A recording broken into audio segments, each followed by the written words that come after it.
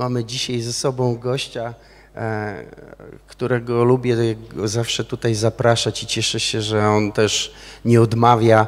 E, I dzisiaj chciałbym e, już nie przedłużać i go zaprosić. Leszek jest, tylko tak, tak, tam takie poczucie, żebyście wiedzieli, z kim wy rozmawiacie, bo wiecie, Leszek jest takim nietypowym człowiekiem, bo on jest gwiazdą, która nie robi z siebie gwiazdy. To jest takie, uważam, że to jest nienormalne, coś powinieneś z tym zrobić. E, nie wiem, czy wiecie, ale program telewizyjny Ocaleni, który ogląda około miliona osób e, co tydzień, chyba, e, nie powstałby, gdyby nie, nie Leszek. To dobrze. Leszek mówi, że przesadzam, ale to spoko, od czasu do czasu się przyda. Ale masz bardzo duży wpływ na ten program i wielu ludzi, którzy tam się pojawiają, to są ludzie, którzy, których ty tam gdzieś podsyłasz, pomagasz im e, i ty współtworzysz ten program i Bóg przez ciebie naprawdę sięga wielu ludzi w tym kraju. E, myślę, że chcę, żebyście wiedzieli też, że Leszek ma taką ogólnokrajową służbę, e, jeździ bardzo dużo. Swego czasu, nie wiem, czy ty pamiętasz, mówiłeś mi, że chyba spędziłeś 250 dni w, w ciągu roku w podróży, to to tak obrazuje, może teraz już tak nie jest, no, Linda ci nie pozwala, ale E, ale, e, ale to po prostu świadczy o tym, jak bardzo Leszek jest e, zaangażowany, oprócz tego, że, że jest pastorem, oprócz tego, że prowadzi swoją służbę, jeszcze też prowadzi profilaktykę uzależnień i z tego też jest bardzo znany w Polsce.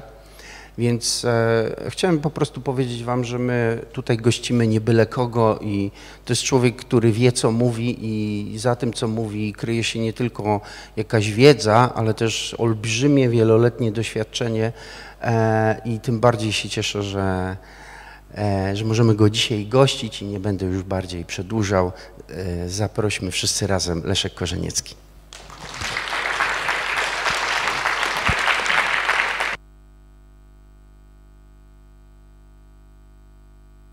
Jestem już słyszalny? Okej. Okay. E, dzięki wielkie. Z tymi ocalonymi to naprawdę przesada, bo ja dołączyłem do ekipy w okolicach setnego odcinka. Także no, na pewno nie byłem przy e, tworzeniu, ale cieszę się, że e, za sprawą tego programu mogę też z naszych środowisk pokazywać ludzi na szerszym w taki szerszy sposób, bo e, mamy w naszych środowiskach wiele niezwykłych osób, które nie tylko cudownie zostały wybawione przez Boga, ale również e, dziś robią niesamowite rzeczy, e, wydobywając z mm, uzależnień, wydobywając z totalnego syfu innych ludzi. E, I myślę, że szczególnie takie osoby warto e, pokazywać, bo e, Chrystus ma niesamowite upodobanie w tym, by sięgać po ludzi, którzy byli kompletnie przegrani, by robić z nich oręż swojego zwycięstwa.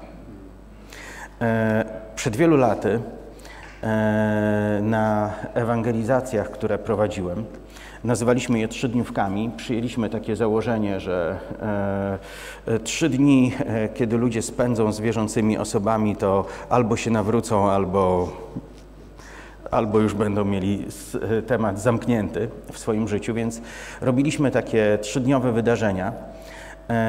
I połowa ludzi była wierząca, połowa ludzi była takimi, którzy potrzebowaliby się nawrócić. E, na jednej z takich trzydniówek nawrócił się e, chłopak, który ostro ćpał e, amfetaminę, który handlował amfetaminą, który robił wiele rzeczy złych. Kilka lat później ten sam chłopak pracował ze mną w profilaktyce uzależnień i zrobił bardzo e, dużo e, dobrego. To e, myślę przeszło do, do historii. Kiedy myślę o takich osobach jak on, wielu innych, z którymi miałem okazję współdziałać, to widzę, że w Chrystusie jest właśnie coś takiego. On chce wziąć kogoś, kto jest kompletnie przegrany. On chce wziąć kogoś, kto jest w kompletnej ciemności i chce tego kogoś zamienić w swoją pochodnię.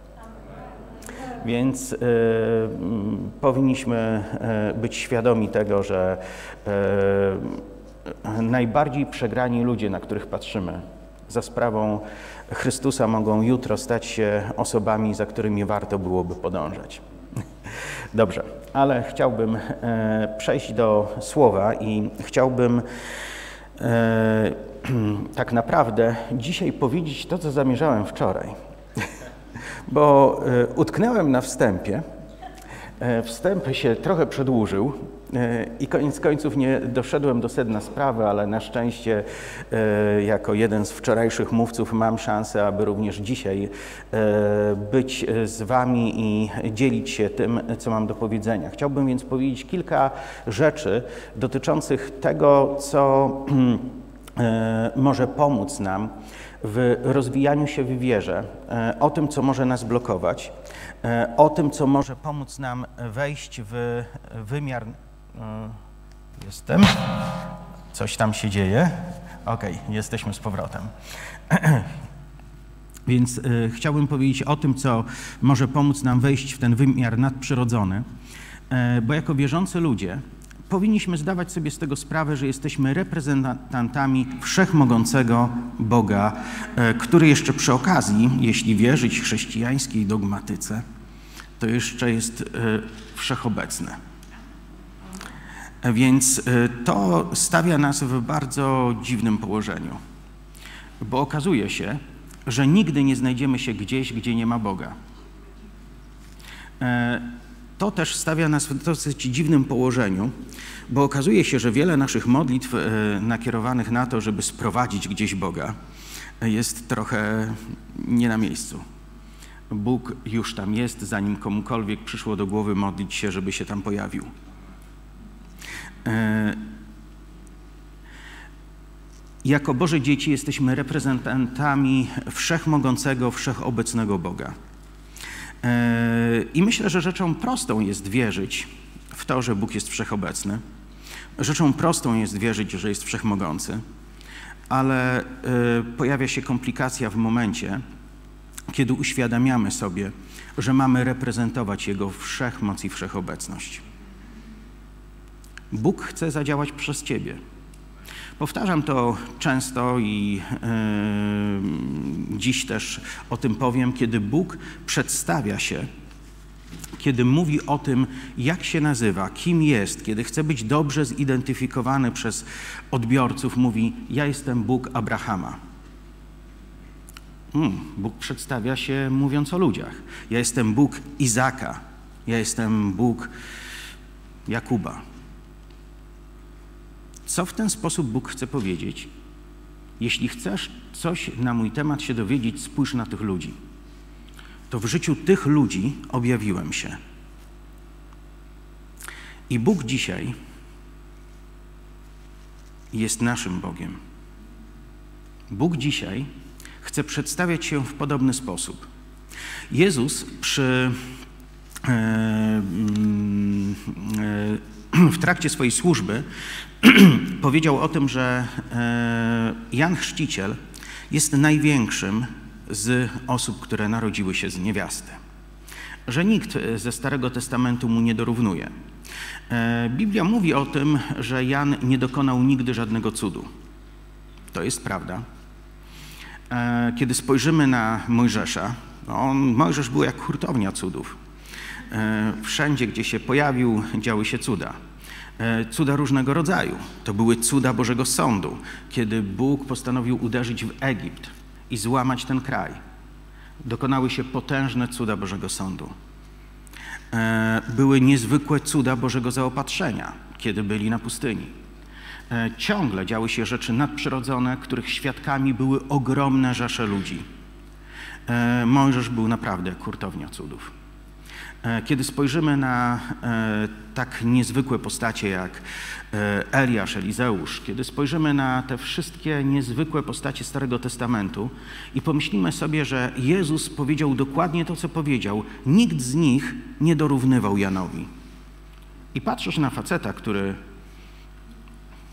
żre świerszcze. Myśmy z waszym pastorem sprawdzali, jak to smakuje. Także jakby co możecie ustawić się w kolejce i popytać.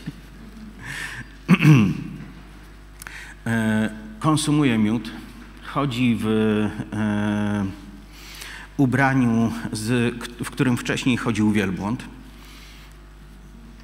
Wiecie, skóra wielbłąda ma to do siebie, że strasznie śmierdzi. A jak ją namoczysz, to śmierdzi dwa razy bardziej. Wiecie, nie wiem o co w tym chodziło, ale to jest możliwe, że w tej epoce, kiedy nie było GPS-a i ktoś szukał, gdzie jest Jan,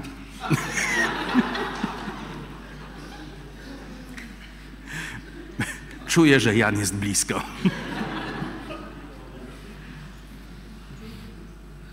Więc możesz spojrzeć na Mojżesza i możesz spojrzeć na Jana.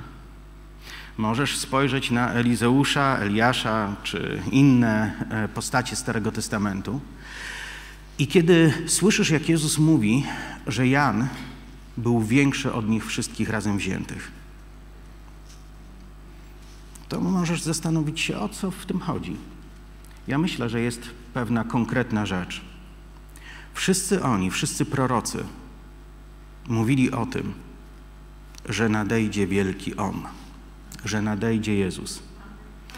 I wszyscy prorokowali o tym, wszyscy czynili znaki na potwierdzenie tego, wszyscy robili rzeczy, które wskazywały na Chrystusa, ale Jan spośród wszystkich proroków był jedynym, który mógł stanąć i powiedzieć: To jest On. Dla nich wszystkich to było tylko oczekiwanie. Oni tylko to zapowiadali, a On był jedynym, który mógł go powitać.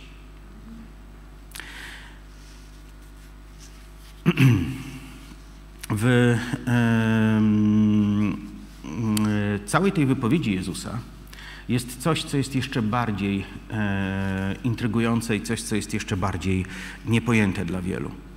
E, myślę, że kiedy czytamy te e, fragmenty słowa, E, to często przebiegamy nad nimi oczyma, nie zatrzymując się i nie uderza nas sens tego, co Jezus powiedział, dlatego że wydaje się to dla nas tak bardzo odległe. Ale Jezus powiedział, że najmniejszy w Królestwie Bożym większy jest od Jana. Czy jesteśmy w Królestwie Bożym? Czy narodziłeś się na nowo? Czy jesteś napełniony Duchem Świętym? Jeśli tak, to nie tylko jesteś w Królestwie Bożym, ale Ty jesteś Królestwem Bożym. Jesteś żywą manifestacją Królestwa Bożego na ziemi. I Jezus powiedział, że Jan był większy od tych wszystkich mężów Starego Testamentu. A o Tobie powiedział, że Ty jesteś większy, Ty jesteś większa od Jana. To jest powiedziane w piśmie wprost. Więc jeśli ktoś z Was chciałby być jak Dawid, to czemu tak bardzo się poniżać? jeśli ktoś z nas chciałby być jak, nie wiem, Estera, to czemu tracić na pozycji, która została nam dana już przez Boga? Bóg umieścił nas w swoim planie w pewnej pozycji, która przewyższa wszystko, co moglibyśmy zaobserwować w Starym Testamencie. Bóg dał nam możliwości, które e, zostały e, mm, opisane w taki sposób przez Pismo Święte. W ósmym rozdziale listu do Rzymian czytamy, że jesteśmy współdziedzicami Chrystusa. Jeśli jesteś współdziedzicem, to znaczy, że masz wszystko to, co On. Więc pomyślmy o wszystkim, co miał Jezus, kiedy był na ziemi. Jezus wypędzał e, mm, demony e, całymi legionami, uzdrawiał chorych w potężnej ilości. Kiedy czytamy opisy masowych uzdrowień w Ewangelii Mateusza, to często powtarza się tam e, sformułowanie i uzdrawiał tam ich wszystkich. Ciekawe. Wielkie tłumy chodziły za Jezusem, a On uzdrawiał wszystkich. Kiedy e, patrzymy na całą tą potęgę Bożej mocy, która zamanifestowała się przez Chrystusa, e, to jest to niesamowite. A Pismo Święte mówi, że masz dokładnie to, co On. Że jesteś współdziedzicem, że zostało Ci już to dane, że masz do tego legalne prawo. Jezus mówi: Ten, kto wierzy we mnie, będzie czynił takie same rzeczy jak ja i większe nad te czynić będzie. Na jakiej podstawie to Jezus mówi? Właśnie na tej podstawie, że tak to zostało postanowione, byśmy jako Boże dzieci otrzymali pozycję Bożego Syna, Bożej córki na ziemi. Jezus oddał nam nie tylko swoją sprawiedliwość. W momencie, kiedy Chrystus poszedł na krzyż, został zabity, przyjął na siebie karę za nasze winy, wziął w ten sposób cały syf, cały brud, cały grzech, całą klęskę, całą chorobę, całe zło, które miało nas dotknąć, wziął to na siebie i oddał nam swoją osobistą sprawiedliwość. Oddał nam swoją czystość, swoją świętość, oddał nam swoją pozycję przed Ojcem. Tak, aby Ojciec patrząc na nas, nie zobaczył w nas wszystkiego tego, co Chrystus zabrał na krzyż, ale zobaczył wszystko to, co Jego Syn nam podarował. To jest niesamowite. I bardzo łatwo jest to powiedzieć, ale jak trudno utrzymać swoją świadomość w takiej pozycji, abyśmy nieustannie e, wierzyli, pamiętali o tym i nauczyli się żyć tak, jak byłoby to prawdą, ponieważ jest to prawdą. Ale kiedy traktujemy prawdę jako coś, w co nieśmiało próbujemy uwierzyć, to wiecie, to jest to tak jak wyznanie miłości w dniu, w którym chcesz zaręczyć się z piękną niewiastą i mówisz, chyba chciałbym może, żebyś za mnie wyszła, bo pewnie mi się tak wydaje, że może i ciebie kocham.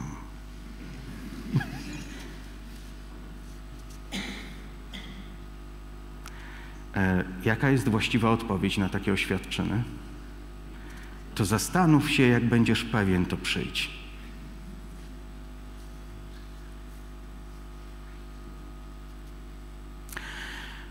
Myślę, że z tym, w co wierzymy, często potrzebujemy zrobić porządek. Jedna z rzeczy, która pomaga w, w tym, to jest właściwe wywrzeszczenie do swojego wnętrza to, co jest prawdą. My nieśmiało unosimy się od czasu do czasu w kierunku prawdy. Tak, jestem Bożym dzieckiem. Bóg mnie kocha. Jestem dla Niego cenny szef mnie opieprzył w pracy. Chyba Bóg mnie jednak nie kocha.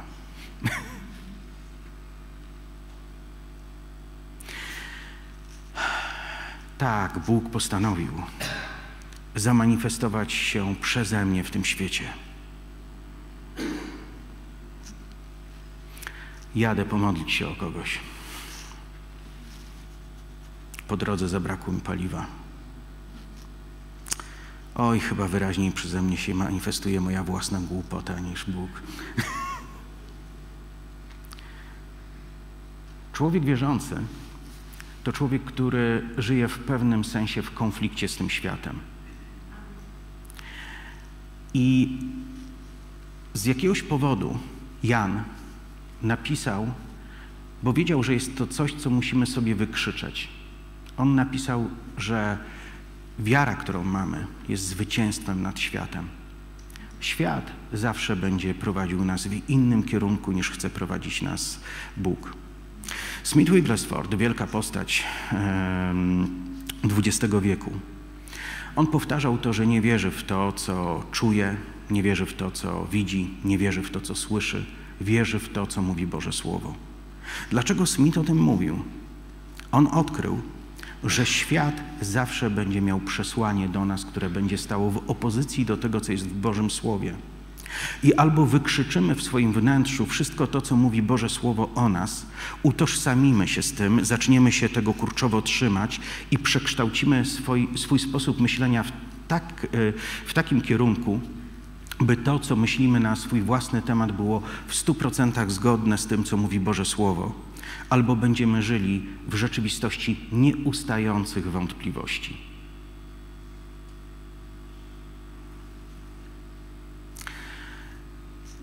Jednym z bardzo ważnych wersetów dla mnie kilkanaście lat temu e, okazały się słowa Dawida, który napisał: Błogosław duszo moja Panu. Wyobraźcie sobie kogoś, kto przemawia do swojej duszy, przemawia sam do swojego umysłu, wydaje rozkaz. Teraz masz błogosławić Boga. Teraz masz ekscytować się Nim. Teraz masz się Nim zachwycać. Teraz masz odwrócić się od całego swojego nieszczęścia, od całego swojego cierpienia, od całej swojej depresji, od całej swojej amotywacji, od wszystkiego tego, co odrywa Ciebie od Boga. Teraz masz wpatrzeć się w Niego. Teraz masz się Nim zachwycać. Teraz masz Go błogosławić. Bo jeśli tego nie zrobisz, pozostaniesz na tym ziemskim poziomie. Ciągle będziesz ziemianinem marzącym o niebie. Jedyne, co będziesz miał z nieba na ziemi, to marzenie o niebie. Ale kiedy ulegamy takiemu przekształceniu, kiedy decydujemy się na to, że zwyciężymy walkę ze światem w naszej duszy, kiedy postanawiamy naszej duszy wykrzyczeć wszystko to, czym powinna żyć, kiedy postanowimy jej to rozkazać, kiedy postanowimy ją do tego zmusić, okazuje się, że kiedy wychodzimy poza rzeczywistość wątpliwości, stajemy się niebianami żyjącymi chwilowo na ziemi. Jaką nosimy w sobie tożsamość? To zależy od tego, co zrobimy z Bożym Słowem. Możemy nauczyć się na pamięć wielkich części Bożego Słowa, ale choćbyśmy nauczyli się całej Biblii na pamięć, to Boga nie będzie za bardzo obchodziło to, jak wiele z tego tekstu możemy mechanicznie powtórzyć. Bóg jest zainteresowany tym, na ile te słowo, które jest prawdą, jest naszą osobistą prawdą. Bo nic nie zmieni tego, że to słowo jest prawdą. Ale kiedy to słowo łączy się z naszą duszą, kiedy łączy się z naszym umysłem, to my decydujemy o tym, czy jest to prawda, z którą się w pełni utożsamiamy. Potrzebujemy odkryć, co Biblia mówi o nas samych. Kiedy patrzymy na to, to rzeczy, które tam znajdujemy, muszą wypalić naszą fałszywą pokorę, muszą wypalić nasze wątpliwości, muszą e, oddzielić nas od świata, w którym używa się określeń ja nie mogę, to jest niemożliwe, e, to jest nieracjonalne, tak się nie da. Kiedy zaczynamy wykrzykiwać swojej własnej duszy to, co jest prawdą, w którymś momencie okazuje się, że kawał naszego chrześcijańskiego życia minął w taki sposób, że mieliśmy wyobrażenie na temat tego, co jest prawdą, ale nią nie żyliśmy. Od czasu do czasu powtarzam to, że odkrywam, że Bóg jest kompletnie inny niż jak wierzyłem do tej pory. Więc kiedy powiedziałem to pięć lat temu, to było prawdą. Ale kiedy dzisiaj to powiem, to to znaczy, że moje zrozumienie i moje zastosowanie prawdy wzrosło na tyle, że mogłem zobaczyć wszystko z zupełnie innej perspektywy. Kiedy wchodzisz na górę, widzisz przestrzeń, która otwiera się przed tobą, gdy jesteś na jakimś pułapie tej góry. I widzisz, że z góry widać wszystko lepiej, ale kiedy podejdziesz kilkaset metrów wyżej, to odkrywasz, że to, co widziałeś, to tylko mały fragment tego, co można zobaczyć z tej góry. I teraz widzisz, że jesteś na tej samej górze, ale widzisz wszystko zupełnie inaczej. I kiedy wchodzisz jeszcze wyżej, to widzisz wszystko znowu inaczej. E, tą górą, którą jest poznawanie Boga, jest coś, co się nigdy nie kończy. I nasze poznanie jutro powinno być większe niż dziś. Więc e, właściwe podejście do słowa, ono powoduje, że dziedzictwo, które zostało nam dane przez Boga, przestaje być jakąś iluzją, e, przestaje być jakimś, e, jakąś rzeczywistością jedynie zadeklarowaną, ale staje się czymś, co możemy oglądać na co dzień. Staje się czymś, czym żyjemy realnie. Więc jest to coś, do czego gorąco zachęcam. E, człowiek, mm, kiedy poznaje Boże Słowo, może zrobić z, nią, z nim tylko dwie rzeczy. Może złamać się przed tym Słowem, albo może złamać to Słowo. Jak łamiemy to Słowo? Mówimy, wow, cudowne, ale to mnie nie dotyczy. W ten sposób łamiemy to Słowo. No, nie da się tak żyć. O, chciałbym, żeby to tak w moim życiu wyglądało, ale niestety. W ten sposób łamie się to słowo. Albo można pozwolić złamać się temu słowu i powiedzieć: Boże, to mnie przerasta. To jest dla mnie niepojęte. I według mego ludzkiego sposobu myślenia to jest dla mnie nie do zastosowania, ale wiem, że Twoje słowo jest święte i prawdziwe, a moje myślenie jest małe. Moje myślenie, jeśli sprzeciwia się Tobie, to chcę wyrzec się swego myślenia, by powiedzieć na to, co Ty mówisz. To jest prawda, a nie to, co tłoczy się w mojej głowie. Fałsz noszę w sobie, ale tego fałszu nie ma w Twoich słowach. Zobaczcie dwie postacie z początku Ewangelii Łukasza. Kapłan, Zachariasz, profesjonalista, teolog. Człowiek, który całe życie spędził, e, wychowywał się w rodzinie kapłańskiej. Kiedy był dzieckiem, słyszał o tych wszystkich niezwykłych historiach, które miały miejsce w Biblii. Wiedział, że jego naród istnieje z tego powodu, że kiedyś Bóg otworzył bezpłodne łono Sary. I dzisiaj nie oglądalibyśmy ani jednego Żyda, gdyby nie to uzdrowienie. Sara została uzdrowiona w dość późnym wieku, ale przyszło to dziecko na świat. Później została uzdrowiona Rebeka. Na samym początku narodu żydowskiego stały dwie przeszkody, dwa bezpłodne łona. I naród żydowski przyszedł na świat w nadprzyrodzony sposób poprzez uzdrowienie tych kobiet. Zachariasz wiedział o tym. Czytał Pisma Święte, słuchał ich, znał te historie, kiedy był dzieckiem. Ale w pewnym momencie, kiedy był już starcem, kiedy sprawował e, swoje obowiązki jako kapłan, pojawił się u niego świetlisty gość,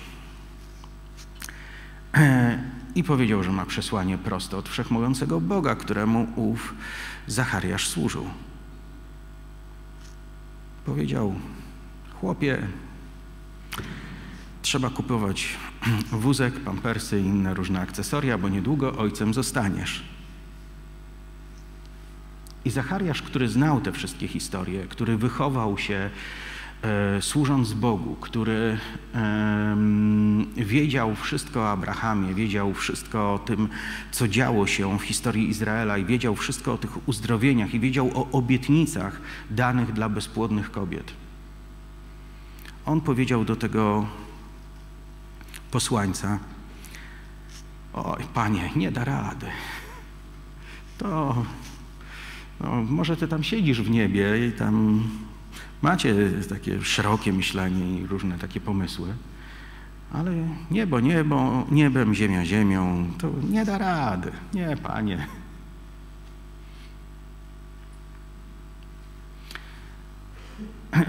Trzeba było coś z tym zrobić. Zachariasz zaczął gadać głupoty. I wiecie, kiedy wciągasz kogoś w swój plan, a ten ktoś zaczyna gadać przeciwko temu planowi, to lepiej, żeby nic nie gadał. Anioł dotknął go w taki sposób, że Zachariasz mógł odezwać się dopiero po e, tym, jak jego syn przyszedł na świat. Ale kiedy ten sam anioł jakiś czas później zjawił się u młodej,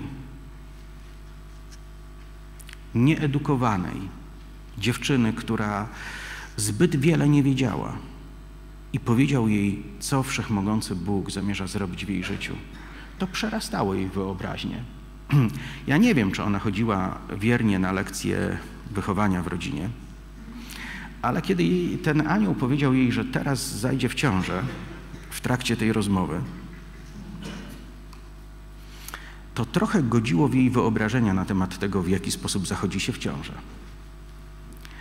Ale pomimo, że to było tak inne od jej zrozumienia tematu, ona nie powiedziała, nie, to niemożliwe. Ona powiedziała, jak to się stać może, skoro nie byłam z mężczyzną. Ona nie powiedziała, nie, to jest niemożliwe. Albo nie powiedziała, nie wiem, co wy tam pijecie czy palicie, ale to, co mówisz, jest bez sensu. Ona spytała, jak to się stać może. I myślę, że w tym, w jaki sposób e, zostało potraktowane poselstwo dane przez anioła w identycznej sprawie e, dla Zachariasza i dla Marii, e, jest pewna lekcja dla nas. Zachariasz tym, co mówił, łamał słowo, które zostało mu przyniesione. Maria w tym, co usłyszała, łamała siebie przed tym słowem. Powiedziała: Dla mnie to niepojęte, ja tego nie rozumiem, ale skoro to jest prawda, to wyjaśnij mi, jak ta prawda może zostać w moim życiu wypełniona. Anioł udzielił jej tego wyjaśnienia. Powiedział: Duch Boga stąpi na ciebie. I to, co pocznie się w Twoim łonie za sprawą Ducha Świętego, będzie Synem Bożym. Kiedy czytamy Pismo, kiedy docierają do nas różne słowa, które wydają się przerastać nas, możemy zrobić dwie rzeczy. Złamać to słowo poprzez ignorowanie go i odsunięcie go, myśląc, że to jest coś zbyt wielkiego, albo zbyt wyjątkowego, albo to jest nie na ten czas, albo to jest, to jest na ten czas, ale dla misjonarzy w Afryce. Albo możemy złamać się przed tym słowem i powtórzyć za tą wystraszoną młodą dziewczyną, która powiedziała: Jak to się stać może? Twoje słowo jest prawdą. Moje myślenie jest zbyt ograniczone, by pojąć tą prawdę, ale poszerz moje myślenie, poszerz moje możliwości, poszerz moje serce. Dostosuj mnie do tego słowa, pomóż mi się do tego słowa dostosować, bo nie chcę być zaprzeczeniem wobec tego słowa. Potrzebujemy sobie wykrzyczeć to. To jest prawda. A to, co kłębi się w mojej głowie, zostało ukształtowane w tym świecie. To nie jest zdrowy rozsądek, to jest wątpliwość. To jest zaprzeczanie słowu.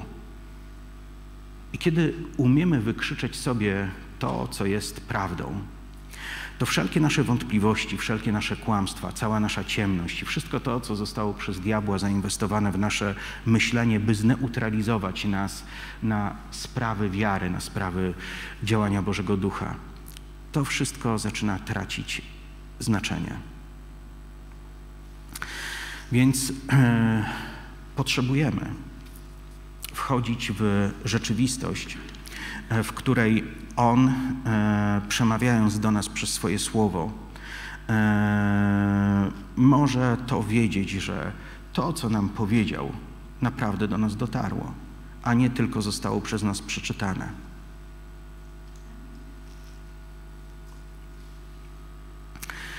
Są rzeczy, e, które mogą nas blokować, są rzeczy, które mogą nas wspierać.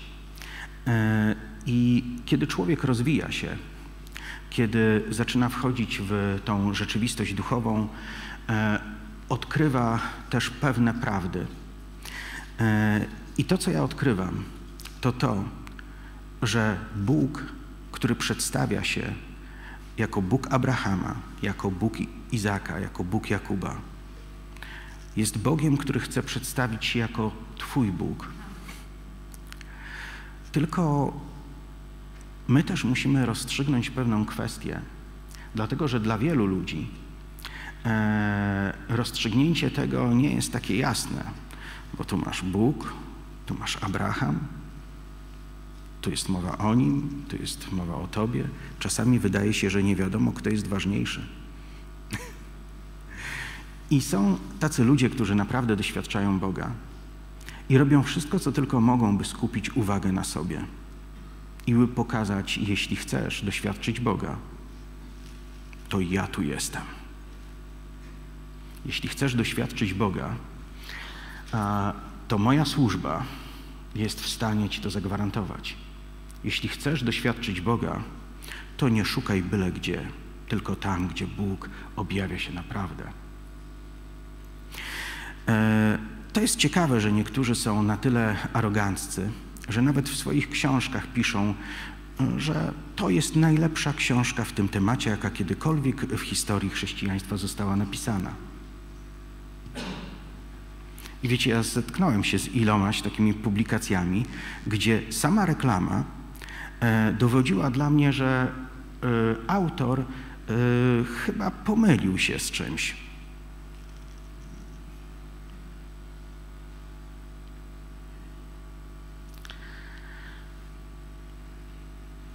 Pomyślmy nad tymi sformułowaniami. Ja mam w swoim życiu Boga. I drugie sformułowanie. Bóg ma mnie. Rzadziej to słyszymy, prawda? Bardzo często, kiedy ludzie mówią o Bogu, startują te wypowiedzi z punktu egocentryzmu człowieka. Mam Ducha Świętego. Jesteśmy tak bardzo przystosowani do tego języka, że kiedy próbujemy mówić to inaczej, okazuje się, że to trochę dziwnie brzmi. E, kiedy zakładamy ręce, niektórzy to robią, robimy to w określony sposób. Ale jeśli byśmy mieli teraz przełożyć ręce inaczej, okazałoby się, że trochę nieswojo się z tym czujemy. I tak samo jest z wypowiadaniem się na temat e, Boga, kiedy zaczynamy używać właściwych sformułowań, e, okazuje się, że to dziwnie brzmi. Mam Ducha Świętego. Nie. Tak się składa, że Bóg jest Bogiem, a ja nie. To też jest jedna z rzeczy, które, którą trzeba sobie wykrzyczeć. Bóg ma mnie. I jestem Jego.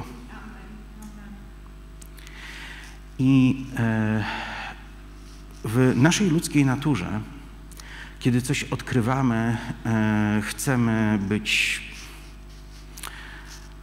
Przypomina mi się okres, kiedy zajmowałem się okultyzmem. To nie było długo, na szczęście, ale niestety było bardzo intensywne. Pamiętam, co wtedy myślałem na swój temat, dokonując kolejnych odkryć i doświadczając kolejnych rzeczy. Pomyślałem sobie, wow, jestem kolumbem duchowego świata. Odkrywam nowe, nieznane e, rzeczywistości.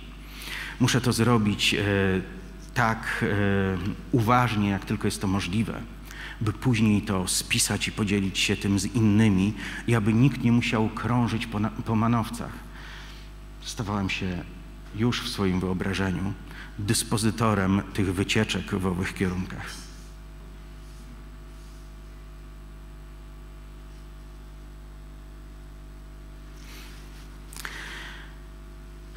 Jako ludzie chcemy e, mieć coś, chcemy coś znaczyć, chcemy mieć coś do powiedzenia, chcemy być kimś. Jesteśmy istotami pożądającymi znaczenia, pozycji, władzy. Nieustannie to gdzieś w nas się odzywa i nawet kiedy jesteśmy wierzącymi ludźmi i odkrywamy e, duchowe rzeczywistości, to zaczyna ludzka natura się w to wtrącać. Widziałem kiedyś taki wpis, e, e, który ktoś popełnił. Myślę, że coś w nim jest. Tam było napisane, że kiedy chrześcijaństwo dotarło do Grecji, e, zamieniono je w filozofię. Kiedy dotarło do Rzymu, zamieniono je w religię, a kiedy dotarło do Stanów, zamieniono je w biznes. Człowiek podporządkowuje odkrywanie Boga swoim ludzkim, ziemskim pragnieniom, swoim ludzkim, ziemskim rządzom. Podczas gdy Bóg, który chce się z nami spotkać, to Bóg, który chce zostać potraktowany jako Bóg. I kiedy kiedyś ktoś powie coś o Bogu Korzenieckiego z Mazur, to ja mam nadzieję, że w tym będzie takie zrozumienie, że to potęga Boga uchwyciła mnie i Bóg przejawił się przez moje życie. I będzie wiadome, kto jest słoniem, a kto jest mrówką. Będzie wiadome, kto jest osłem, a kto jest tym, kto na tym ośle jedzie. Podczas gdy my w naszej ludzkiej naturze często zupełnie nieświadomie, bluźnierczo próbujemy to zmieniać. Kiedy za, zależy nam na tym, żeby ludzie poprzez obecność z nami, e, poprzez naszą obecność w ich życiu, poprzez spotkanie z nami, spotkali się z wszechmocą Boga, dowiedzieli się o tym, jaki On jest wspaniały, a nie o tym, jacy my jesteśmy uduchowieni. To jest coś, co rozwiązuje e, sprawę tego, czy manifestacje Boże zamienią się w naszym życiu w problem, czy będą czymś, co będzie przynosić Bogu chwałę. Wielu ludzi, e, opowiadając świadectwa o rzeczach, które Bóg w ich życiu robił, e, zachowuje się bardzo pysznie. Pokazuje e, coś ze swojej natury. Ja pamiętam, jako świeżo nawrócony człowiek, słuchałem świadectw. Ja przejąłem kontrolę nad tym. I kiedy słyszysz e, świadectwo, które zaczyna się już od takich y, y, bardzo y, napuszonych postaw, to wiesz, co usłyszysz dalej i wiesz, jaki będzie wniosek na koniec. Na koniec ta osoba tylko z powodu tego, żeby nie popsuć własnego przesłania, nie kończy tego, patrzcie i się uczcie, wy idioci. A tym, czego mają się nauczyć, to to, że nigdy nie będziecie tacy jak ja. Wiele takich świadectw słyszałem. I nieraz zastanawiałem się, czy to Ty, Boże, zrobiłeś? Powiem, że myślę, że tak, że najczęściej Duch Święty działał przez tych niedojrzałych ludzi. Ale bardzo często ci ludzie bardziej pielęgnowali swoją niedojrzałość niż swoją cześć dla Boga. I często później ich relacja z Bogiem się kończyła. Chciałbym e, powiedzieć w tym kontekście rzecz, która, którą przypomniałem sobie wczoraj. I e, spędziliśmy chwilę czasu e, już po konferencji, też rozmawiając o tym. Z jakiegoś powodu Chrystus postanowił mówić do nas przez przypowieści, przez obrazy. E, mówił o tym e, za pomocą e, przypowieści, które były dobrze rozumiane osobom, które tego słuchały. Posługiwał się terminami z rolnictwa. Dzisiaj, gdyby Jezus mówił do młodych ludzi, na pewno używałby bardzo technicznego języka związanego z życiem w świecie wirtualnym. Dlatego, że to byłoby dla tych młodych ludzi zrozumiałe. Kiedy jakaś prawda, kiedy jakaś bardzo skomplikowana i szeroka prawda duchowa jest przekazana w prosty sposób za pomocą obrazu, za pomocą przypowieści, e, to gwarantuje nam, że zostanie to zapamiętane. W roku 93 e, doświadczyłem niezwykłego spotkania z Bogiem. E, I w trakcie tego spotkania zostały mi pokazane najróżniejsze przepraszam, najróżniejsze rzeczy dotyczące e, mojej przyszłości, dotyczące służby, jaką miałem pełnić w przyszłości. To działo się w roku 93. Wiecie, słuchałem tego, mm, szczerze mówiąc, gdybym powiedział z lekkim niedowierzaniem, to byłaby w tym nielekka przesada. E, zupełnie nie rozumiałem tego, do czego Bóg przygotowuje mnie w przyszłości. Ale pokazał mi bardzo wiele obrazów, które zapadły w mojej pamięci na zawsze. I chciałbym e, jednym z tych obrazów, które wtedy e, zostały mi pokazane, podzielić się e, dzisiaj. Tak się składa, że nawet wasz kościół jest dostosowany do takiej prezentacji. Więc Chrystus pokazał mi, z jakiego rodzaju ludźmi będę miał do czynienia. Pokazał mi to w postaci schodów. Tam było wiele z tych schodów i te schody charakteryzowały się tym, E, że nie były one tak łatwe do przejścia jak te tutaj. E, między jednym schodem a drugim była duża odległość. E, I bardzo trudno było pojedynczej osobie wydrapać się na kolejny schodek. Trzeba było raczej skorzystać z czyjejś pomocy. Więc celem wszystkich było dostać się jak najwyżej. Ale scena, która rozegrała się pod moimi oczyma, wyglądała w ten sposób, że byli tam ludzie, którzy wdrapywali się na te schody i nie patrzyli na innych. Byli tacy, którzy gdy tylko weszli na jeden schodek, wciągali innych, żeby im pomóc. Później podsadzali innych, żeby mogli wejść wyżej. Ale byli też tacy, którzy pozostawali na tym schodku. Wiecie, taka chrześcijańska życzliwość. Znaj swoje miejsce. Pan mnie tu umieścił. Wy jesteście po to, żeby być grzecznymi. E, byli tacy, którzy wciągali innych, ale nie pozwalali im wejść wyżej. Chcieli rozbić swój obóz na tym schodku, zająć to jako e, miejsce ostatecznego celu w ich e, rozwoju i nie pozwalali, by ktokolwiek inny urósł ponad to. O czym ty do mnie mówisz? Bóg takich rzeczy nie robi. O jakich ty cudach opowiadasz? W ogóle to się nie mieści w kategoriach cudu. Cud to jest tylko wtedy, kiedy z tego jest jakiś praktyczny pożytek. Rozmnożenie jedzenia to jest cud. Nie wiem, uzdrowienie to jest cud. A przemienienie szaty Jezusa to był cud. A jaki z tego pożytek? Kto się z tego najadł? Kto od tego ozdrowiał? Wiecie, niektórzy ludzie mają wyznaczone to, jakie cuda Bogu wolno czynić, jakie nie wolno. A to, że wszystko jest możliwe, no tak, wszystko, ale tylko wszystko, co przynosi pożytek według mojego zrozumienia. I na tym koniec.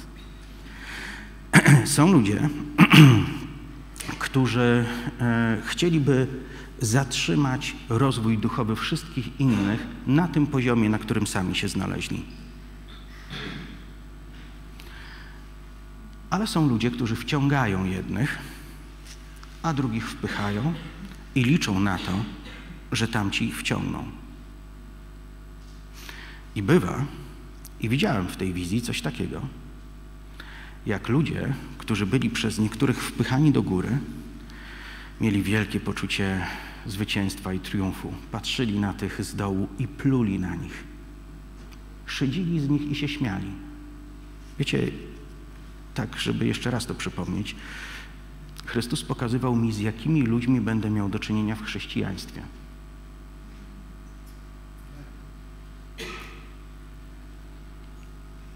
Po latach okazuje się, że ta wizja schodów była jedną z ważniejszych, bo mógłbym w którymś momencie uznać, że w ogóle moje chrześcijaństwo to pomyłka.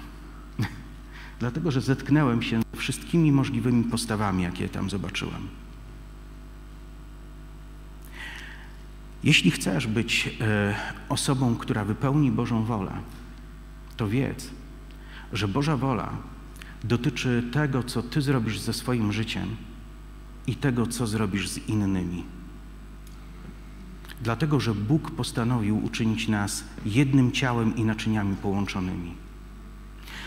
Każdy człowiek, niezależnie na jakim etapie wzrostu jest, powinien jedną ręką wciągać kogoś wyżej, a drugą ręką wpychać kogoś wyżej. Wiecie, wciąganie kogoś wyżej nie wymaga zbyt wielkiej pokory. Jesteś dla kogoś dobroczyńcą, poczujesz się z tym dobrze. Ale wpychanie kogoś wyżej niż sam jesteś, to już jest problem. Co nam przychodzi łatwiej? Wspierać liderów czy ich krytykować?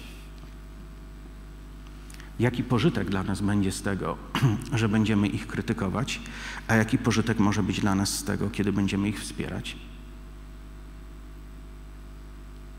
Wiecie, kiedy zobaczyłem te schody, nie miałem e, pojęcia, jak wielkie znaczenie będzie to miało dla mnie w przyszłości.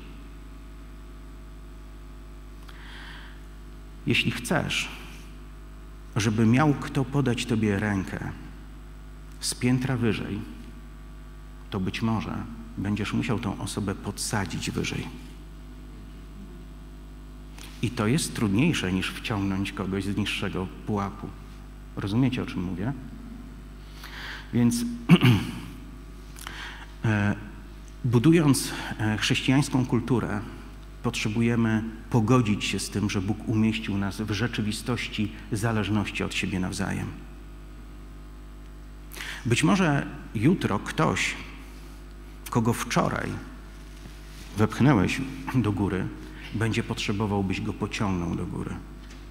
Słyszałem pewną historię na temat um, Johna G. Lake'a. Słyszałem, że e, po nieudanych misjach i po różnych tragediach, które miały miejsce w jego rodzinie, przeżył głębokie załamanie, żył w depresji i przez blisko trzy lata nie usługiwał w żaden sposób. E, wiecie, my, jeśli chodzi o Johna G. Lake'a, to słyszymy same chwalebne historie związane z jego życiem. Ale e, rzecz, która zrobiła na mnie wrażenie, to to, że przez te trzy lata przychodził do niego Bosford e, modlił się o niego, głosił mu słowo, troszczył się o niego, zajmował się nim. I po trzech latach John G. Lake wstanął na nogi i zaczął działać.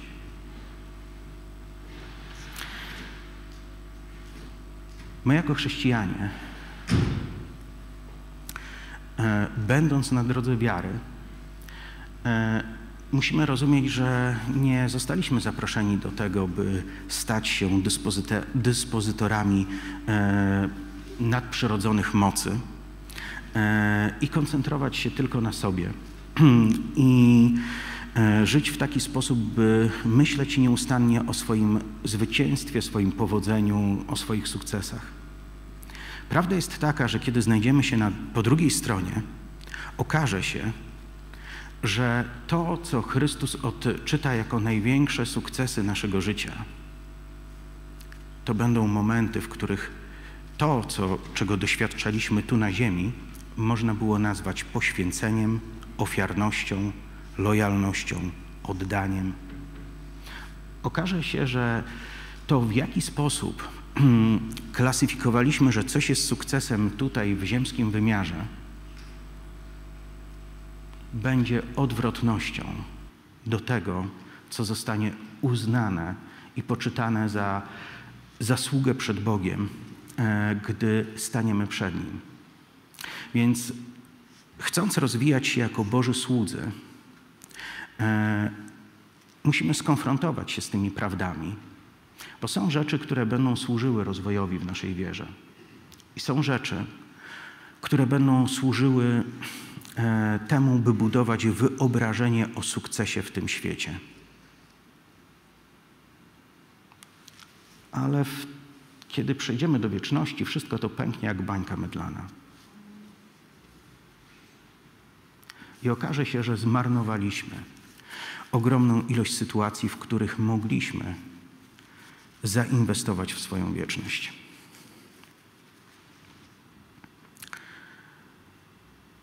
Wiecie, nie mam nic przeciwko temu, kiedy wiedzie się nam dobrze na ziemi, ale mam coś bardzo mocno przeciwko temu, kiedy ktoś troszczy się o swoje powodzenie na ziemi tak bardzo, że przyćmiewa to jego troskę o jego powodzenie po drugiej stronie. No ale o co chodzi? Wszyscy jesteśmy zbawieni. Przecież krew Chrystusa nas oczyściła doskonale i e, jesteśmy narodzeni na nowo, chrzczeni w Duchu Świętym, trafimy do nieba. No tak, trafimy do nieba. Tylko kwestia do jakiej dzielnicy.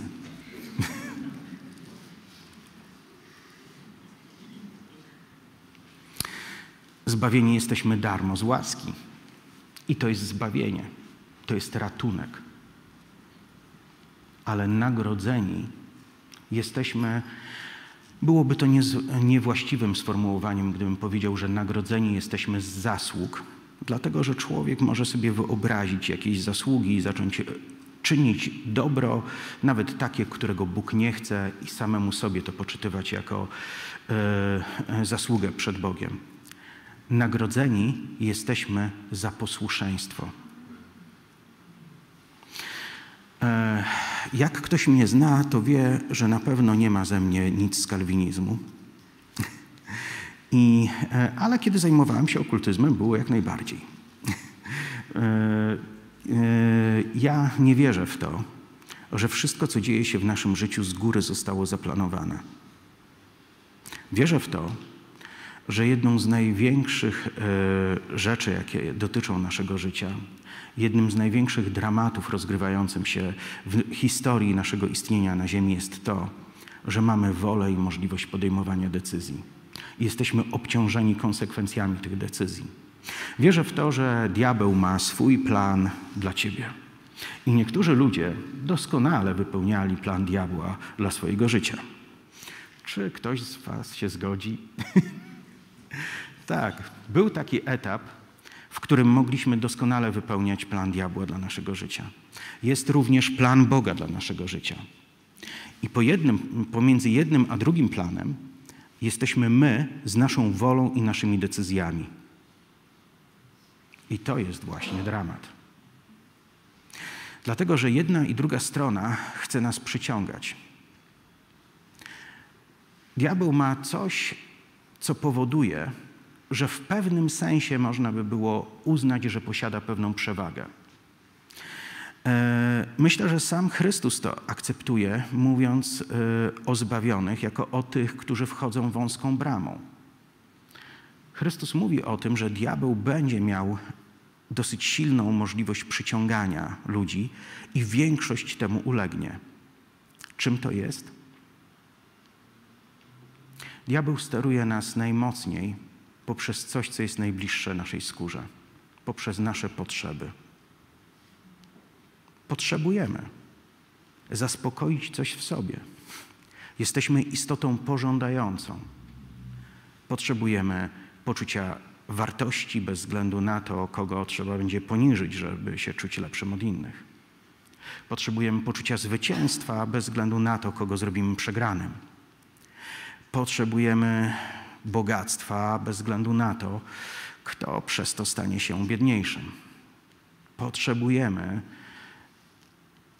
coś osiągnąć, potrzebujemy być w pozycji dominacji nad innymi.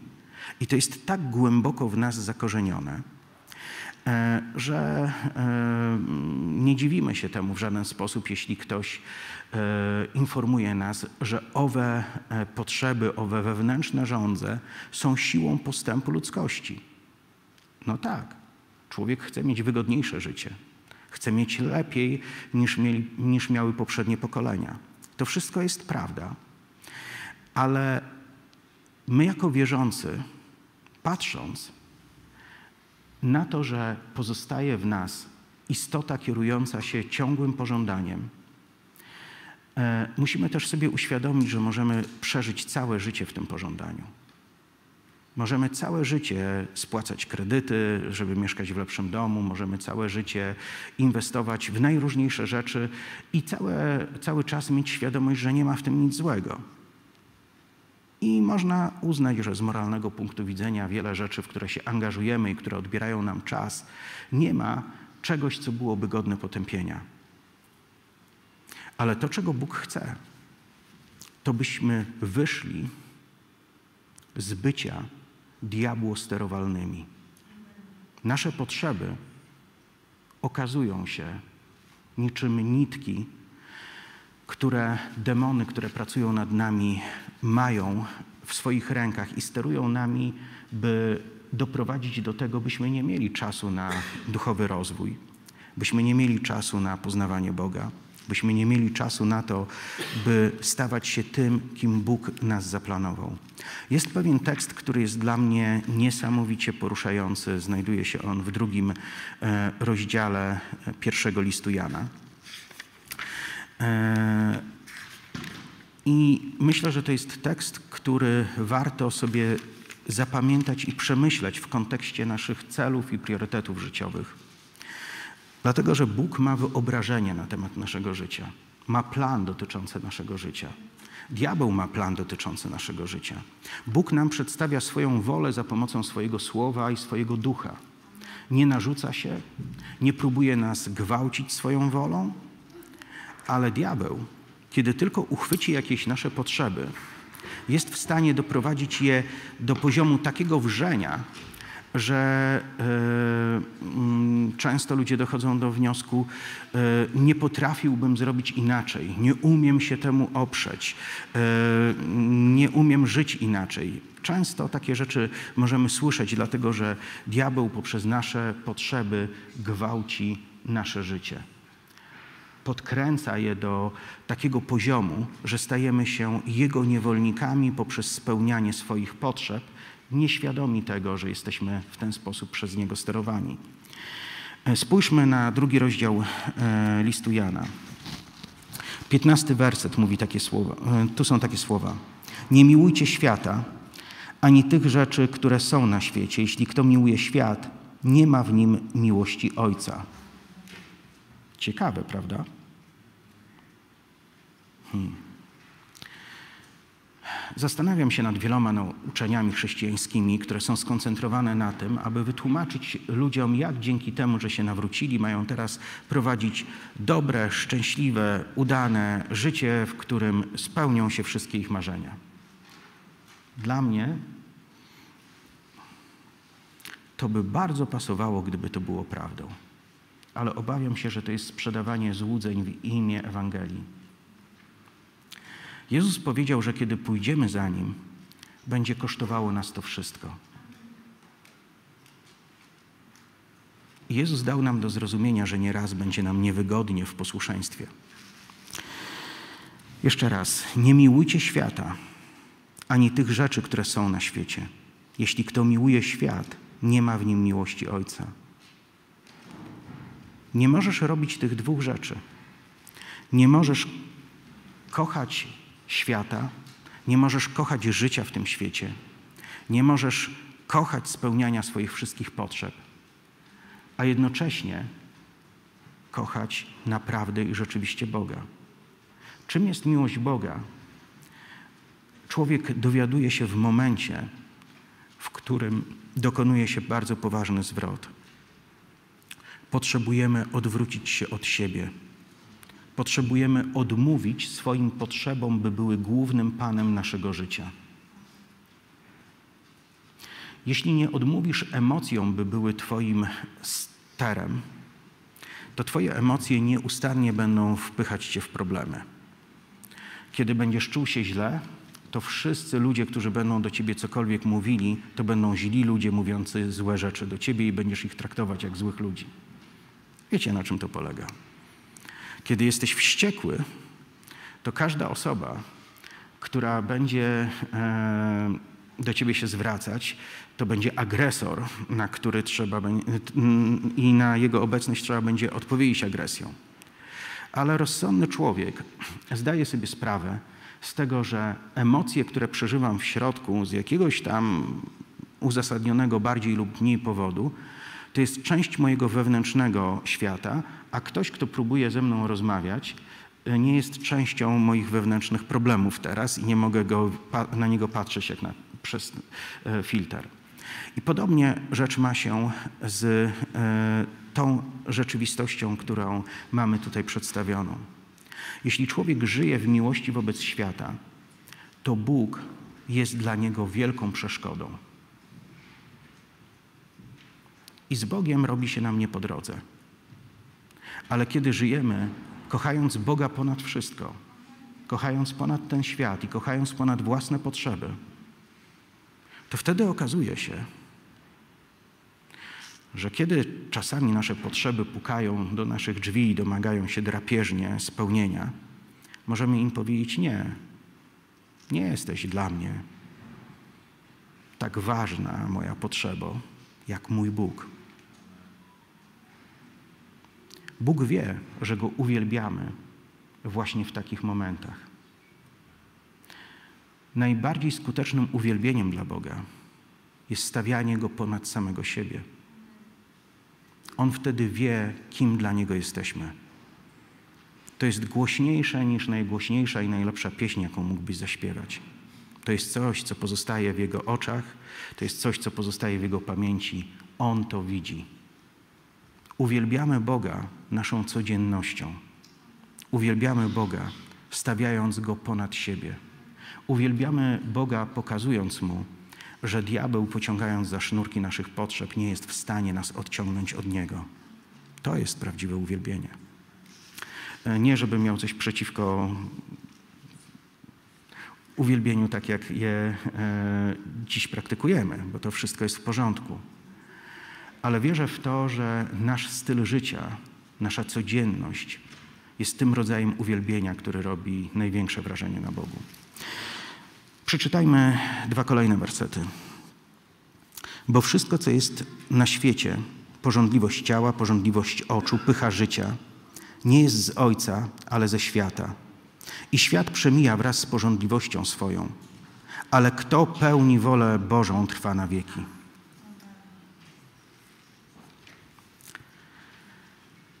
Zmieńmy słowo. Powiedziałem, że człowiek jest istotą pożądającą. To dotyczy naszego ziemskiego wymiaru. Ale zmieńmy słowo i ujmijmy to tak. Człowiek jest istotą kochającą. I prawda jest taka, że wybór jest niesamowicie prosty. Albo największą miłością naszego życia będzie Bóg. I to sprawi, że wszystko inne poukłada się na właściwych miejscach albo będziemy kochać samych siebie tak bardzo, że jedyne, co będzie się w naszym życiu liczyło, to to, co nam będzie robić dobrze w danym momencie.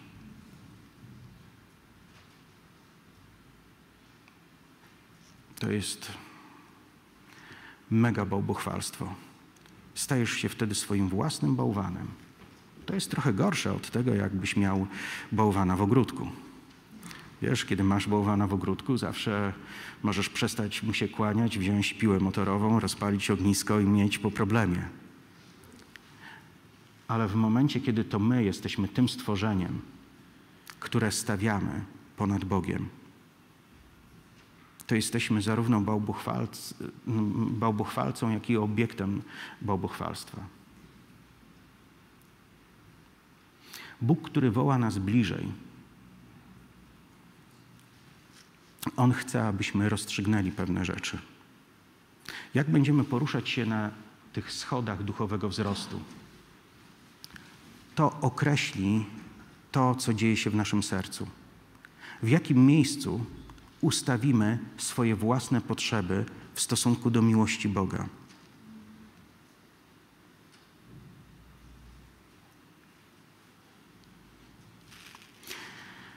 Są ludzie, dla których świat się kompletnie zawali w momencie, gdy będą musieli opuścić swój dom. Są ludzie, dla których to będzie koniec świata.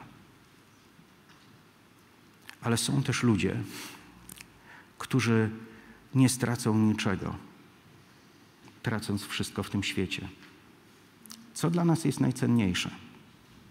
Czy jesteśmy niebianami na ziemi, czy ziemianami myślący, marzącymi o niebie? E, na ile jest przemieniona, przemieniona nasza tożsamość, na ile jest przemienione nasze myślenie, na ile ono jest dostosowane do tego, byśmy byli reprezentantami wszechmogącego, wszechobecnego Boga wszędzie, gdziekolwiek się znajdziemy. To są pytania, które powinniśmy sobie stawiać i e, ja zdaję sobie sprawę z tego, że dziś mówiąc, mówię z perspektywy 30 lat chrześcijaństwa. I ktoś, kto być może jest na samym początku tej drogi, może powiedzieć twarda domowa, któż jej słuchać może, chyba więcej tu nie przyjdę. E, kiedyś, gdzieś w którymś momencie musiałem zacząć zadawać sobie e, trudne pytania. Jeśli najważniejszym przykazaniem jest miłość względem Boga, to jak ja tą miłość praktykuję? Co mi w niej przeszkadza? Co mi utrudnia prawdziwe, szczere, głębokie kochanie Boga w taki sposób, by Bóg był dla mnie ważniejszy niż moje własne dobro, niż spełnianie moich potrzeb, by był dla mnie ważniejszy niż moja żona, niż mój syn, mój kot. Co muszę zrobić, by moja miłość względem Boga była czymś, czego nie można przyćmić wszystkim, cokolwiek posiadam w tym życiu.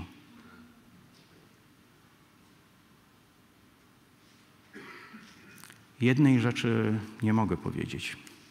Nie mogę powiedzieć, że to jest proste. Ale to jest wyborem, którego Bóg oczekuje od każdego z nas, bo On chce ze swoją wszechobecnością, ze swoją wszechmocą, z całą potęgą niebios zaangażować się w nasze życie, by móc o nas później mówić jako o Abrahamie, by móc o nas mówić jako Izaku, jako Jakubie, by móc powiedzieć tak, to właśnie teraz wypełnia się na Tobie to, co zostało w Ewangeliach ujęte, kiedy yy, mówiłem, że jesteś większy od Mojżesza, że jesteś większy od Eliasza, że jesteś większy od Jana Chrzciciela i że masz ze mną współdziedzictwo i masz wszystko to, co ja mam. Prawdziwa wiara to stanięcie w takim miejscu, gdzie Boże motywy i nasze motywy, gdzie Jego myśli i nasze myśli, gdzie Jego pragnienia i nasze pragnienia są nie do odróżnienia. Napisane jest w Słowie, kto łączy się z Panem, jest z Nim jednym duchem. I to jest pewien cel, do którego potrzebujemy dążyć. E, to jest cel, któremu najróżniejsze działania, najróżniejsze myśli i postawy w naszym życiu będą musiały zostać zmienione, jeśli to On jest najważniejszy. Co może skłonić ludzi do tego, żeby o 11 rano w niedzielę, zamiast siedzieć przed telewizorem i liczyć, ile zjedli pączków, przyjść do kościoła. Jest w nas coś, co, co nas ciągnie do Boga. I nawet często, kiedy wydaje się nam, że prowadzimy podwójne życie, albo kiedy wydaje się, że w naszym życiu jest więcej grzechu niż posłuszeństwa Bogu, kiedy wydaje się nam, że nigdy nie wyjdziemy ponad własne słabości, jednak tęsknota za Bogiem ciągnie nas w Jego stronę. Ale chciałbym, abyśmy to wiedzieli. Nigdy nasza tęsknota za Nim nie będzie tak potężna, jak Jego tęsknota za nami. Dlatego każdy człowiek powinien mieć odwagę, by powiedzieć Bogu o swojej słabości i by powiedzieć o swoim pragnieniu i by zawrzeć z Bogiem przymierze i powiedzieć z dnia na dzień postanawiam to, że będę szukał Ciebie bardziej. Rozkażę swojej duszy tak jak Dawid. Błogosław dusza moja Panu. Każdą Twoją prawdę wywrzeszczę sobie samemu w swoim wnętrzu tak głośno, by każda wątpliwość spakowała walizeczkę i pojechała poszukać lepszego życia gdzie indziej. To jest coś, co możemy zrobić w momencie, kiedy mamy odwagę Owa odwaga, myślę, powinna być w nas podsycona przez świadomość, na takiego Ciebie właśnie Bóg czeka. Takiego Ciebie nie przegapi. Obok takiego Ciebie nie przejdzie obojętnie. Wesprze to. Hmm. Boję się otwierać ust, bo kolejne zdanie może zamienić się w kolejny wątek, ale wierzę w to, że dziś udało mi się przekazać to, czego nie udało mi się przekazać wczoraj. Utkwiłem na wstępie. Więc jak ktoś chce przesłuchać wstęp do tego przesłania, to wczoraj na konferencji. Dzięki za to, że mogłem być dzisiaj z Wami. Także na tym kończę.